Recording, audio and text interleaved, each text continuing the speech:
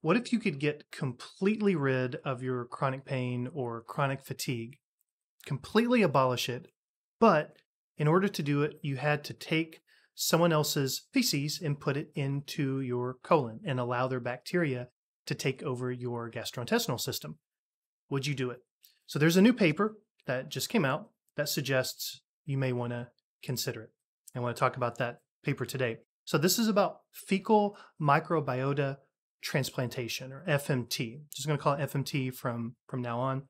And this is for the treatment of fibromyalgia and possibly for the treatment of chronic fatigue syndrome.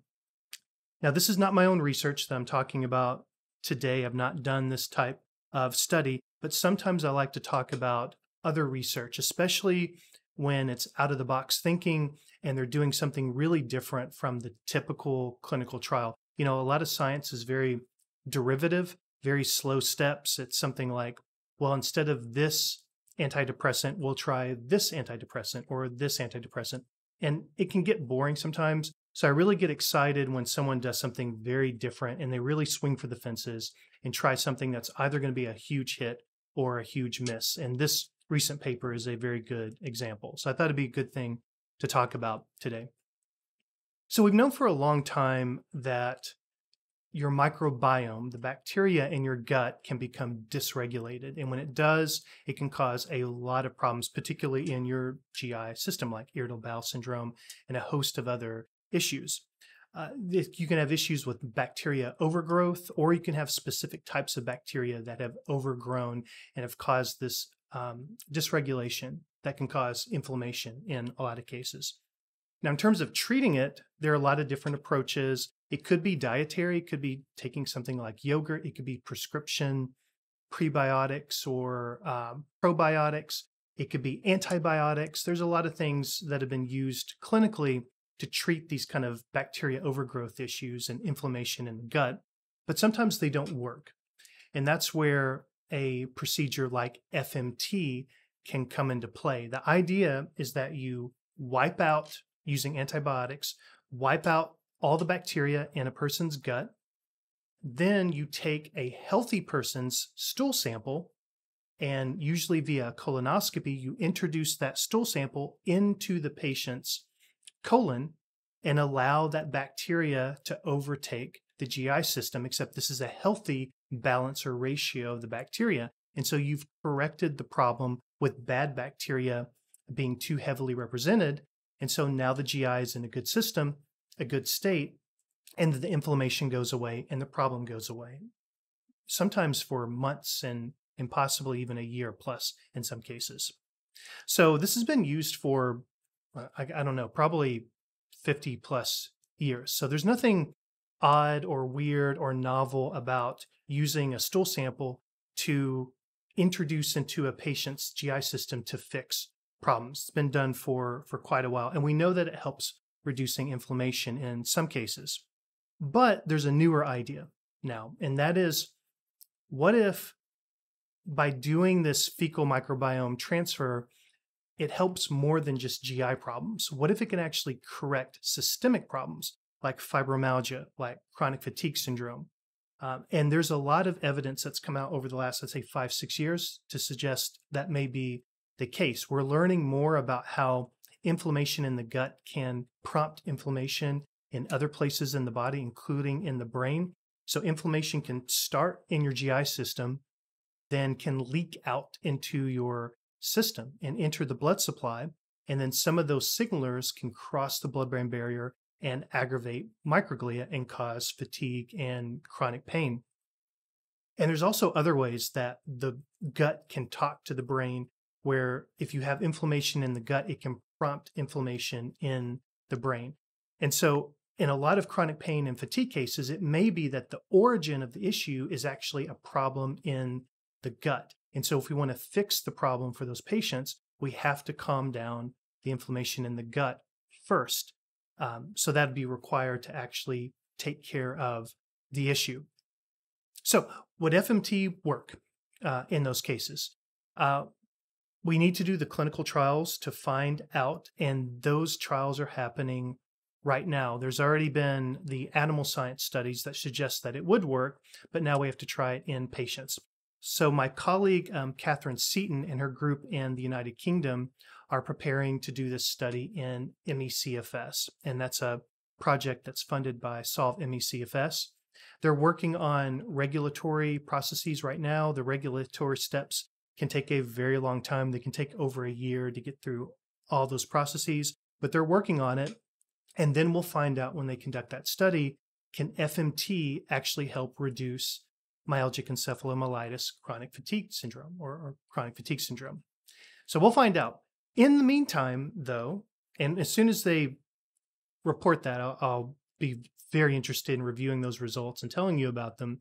But while we wait for that, another group out of Shanghai actually did this study, but on fibromyalgia pain instead of ME/CFS. So this group published the results um, just pretty much last month, in the last month, and they published in the Journal of Pain. It's a very good journal. I've published in there many times. And so when I saw this pop up a couple weeks ago, I thought we really need to talk about this. This is a very novel approach to treating fibromyalgia, pain, and fatigue. And I will tell you, the results are really, really interesting. So let's uh, let's talk about this. This study had 45 patients, 45 fibromyalgia patients. They were randomized into two groups. They were either put into the FMT group, so they would have the microbiota transplantation through a colonoscopy, or they were in the control group. Now, there was no placebo, so there was no blinding or anything like that. The control group actually received duloxetine, and duloxetine is one of the three big treatments for fibromyalgia. So everyone received some kind of treatment. The control group got the oral uh, duloxetine, uh, standard dosage, and this is a serotonin norepinephrine reuptake uh, inhibitor, so an SNRI. It's very commonly used in fibromyalgia. So control group got the duloxetine. The FMT group also got duloxetine, but then they also had the transfer of the stool sample to change their microbiome. So they received duloxetine plus FMT. That was the difference. Control group just got the standard antidepressant uh, SNRI. So after the FMT group received their uh, procedure, they were tracked for 12 months. And by the way, you know, there are a lot of preparatory, you know, um, steps behind the process. The sample itself goes through a lot of steps to prepare it for this type of procedure. And then there are steps to change the microbiome. Usually you take antibiotics to clean out the gut before this. So I'm not going to go into how this procedure is. This paper, which does describe procedure, I'll put a link to the paper. I don't know if it's open access. Uh, I can't tell because it pops up on my computer, but I'm in a, a medical library environment, so they usually do. I don't know if it'll open up for you but I'll put the link there just in case it is open access. And you can look and see exactly how they do that if you're interested. But for right now, I'm just interested in the results. So they track them for 12 months. So for an entire year after the FMT. So what happened to the fibromyalgia pain for a year after FMT? Did it work? Did it last?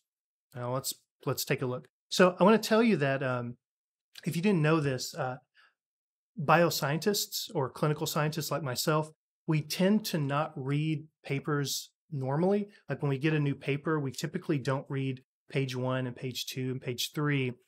We generally pick up the paper and say, Where's the pictures?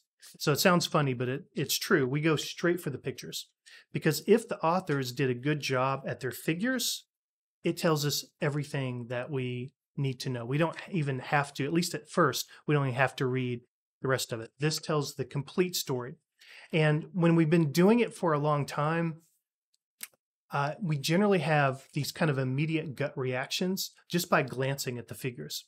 And for me, I have three main types of reactions when I look at a new paper and I go straight to the results. I'll either have a, yeah, okay, that's what I would expect type of immediate reaction. Sometimes I have a, wow, that's really impressive reaction. That's less common, it happens. And then sometimes I have a, this is suspicious, something's fishy here. And that happens a lot as well. And there are other minor reactions, but those are the three big ones. when I looked at the results, when I went to the first results page of this paper, my reaction was, now that, that's impressive. Is this too impressive? Because this is really astounding. That was my response. So let me tell you why I had that reaction and show you what I was looking at and why I think this is really, really, really interesting. So, uh, what I want to show you first is the primary outcome. And so, when you do a clinical trial, you usually have a single primary outcome. There may be dozens of things that you look at, but you have to identify one as the main thing that you're looking at. And so, for fibromyalgia, the main thing is usually the numerical rating scale or the NRS. And I'm showing that to you now. And we use it because it's really straightforward. It's super easy. It's a scale from zero to 10. Zero means no pain at all, and 10 is the worst pain imaginable. And so it's a very simple way of tracking the severity of your fibromyalgia pain over time. So, what we're looking at here are the two groups. The bottom line, which is blue, is the FMT group, and then that red line is the control group who just received duloxetine. Now, what we can see here is that they both started, both groups started at around a seven out of 10. And that's very typical for fibromyalgia. That's a moderately debilitating level of pain. It's a serious level of pain. It will it will impede on the quality of your life for sure. And we want to take seven down significantly to restore quality of life. So we can see that first uh, point on the left is before the procedure. And then the next point is a week after the procedure. And you can see that their symptoms were already starting to um, decrease in both groups. But I'm going to focus on the blue line, the FMT, for right now. So it went down at one week, then it continued to go down at one month. And at one month, we see a divergence between the two groups. The control group bottomed out, they flattened out at that point. However, the FMT group with the transplantation continue to have their symptoms drop. And so it dropped at th- two months, it dropped at three months, it dropped at six months, and it dropped at 12 months. So a year later, their pain was still going down. And we don't know what would have happened after 12 months. It might have stopped there, it might have continued to go down, it might have rebounded and gone back up. We don't know. Regardless, having effects after a year is still incredibly impressive. And really, what I want to point out here is at a year, they were at a two, a pain level of two. And a two pain is negligible. I mean, it's it's a nuisance. It's something that will barely demand your attention. It's something that won't impede in your life at all. And so they went from a seven, which is debilitating, to a two, which is nothing, with this one FMT treatment plus the daily duloxetine. So, you know, you probably can tell just from the information I've given you how how important that is because while I can't say that that cured the fibromyalgia, it essentially did in terms of the person's day to day life. It basically removed fibromyalgia from being an issue. Now, what's also amazing is it wasn't just the pain. It this FMT actually affected multiple other outcomes. Uh, I'm going to show you a couple. There's quite a few, but I'll only show you two. One is the hospital anxiety depression scale. So, as you can guess, it measures anxiety and depression. And what we can see is that really we see the same pattern with anxiety and depression being reduced significantly at 12 months. It just gets better and better. The anxiety and depression subside more and more at each month. Really, really impressive. And then also, let's look at um, the multidimensional fatigue inventory, the MFI. It's the same thing. So, not just did pain go down, but chronic daily fatigue went down substantially as well and still was low at a year. This is incredible. I mean, their fatigue, this is rated out of zero to 100. Their fatigue was 80 when they started. And then at a year, it was 20. And again, just like pain, if your MFI is 20, that means you're just a little tired. In fact, I would almost call that kind of normal level, healthy adult kind of level of fatigue. So, no problem at all so really, um, everything looks good here. Uh, all the all the procedures, uh, how they reported things, looked good to me. I have to admit that um, you know I initially had a this seems too good to be true reaction. I still have that to a little bit, but a little bit, but I don't have a particular issue with the study. It's just that you know after doing this for so long, we were always cautious when we see something that looks really really effective. But this could be one of the huge answers if these results, I can say this with confidence, if what I just showed you, if what they reported, if this is truly representative of how the overall fibromyalgia population will react to FMT, this is groundbreaking. This is something that in the future, maybe something that almost every FM person will want to do because it's just so profoundly effective. Now, I do have some minor concerns, uh, and I and I do mean minor uh, I don't have any super serious concerns. Uh, as you probably can guess, I wish that there was a group that didn't have the duloxetine. And I can't get into this, but there's a reason why everyone received duloxetine. The, this research group actually has some evidence that this is working via serotonergic or serotonin channels. And so the duloxetine actually plays an important role in that. I'm not going to get into that, but it might be that for this to work, it requires a drug that's impacting the serotonin system together with the FMT. But I don't know that that's true. The only way to know that is to test FMT by itself. So I wish they would have done that, but I do understand why they didn't. But ultimately, we'll have to see FMT by itself, at least in one group. Um, I was also kind of suspicious. The control group had a really nice reaction to duloxetine. It looks stronger and more durable than I typically see duloxetine but it's not an outrageous effect. So it's possible. So they may have just kind of had a lucky, really good response to the control group. And the last thing is the time response. I'll show this to you again. It's not what you typically see in FMT studies. Usually you see incredible improvement within a couple days. And then over a year, those results will start to slide back as the person's original microbiome starts to take back over again. Now, that's for GI problems. And so I say that this is not what we typically see, but this has never been done in fibromyalgia before. So it may be that this is just the way it looks when instead of targeting gut problems, you're actually targeting kind of systemic pain and systemic uh, fatigue issues. So this may be the true response, which is actually better than what we see in the classic use of FMT for GI problems. So, really, really, really intriguing.